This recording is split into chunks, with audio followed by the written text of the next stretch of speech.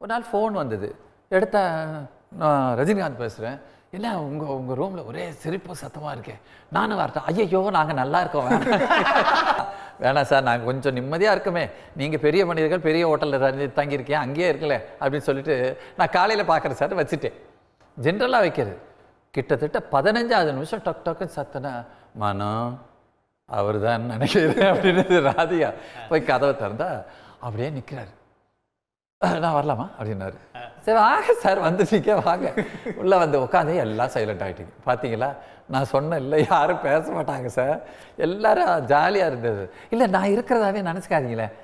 நான் நான் பாட்டுக்கு ஓரமாக பெட்டில் உட்காந்துக்கிறேன் நீங்கள் நீங்கள் ஜாலியாக நீங்கள் கண்டினியூ பண்ணிக்க. எதில் விட்டீங்களோ அதை கண்டினியூ பண்ணி. அவ்வளோதான் நான் இப்படி கண்ணை காட்டினானே ராதிகா எடுத்துருச்சு.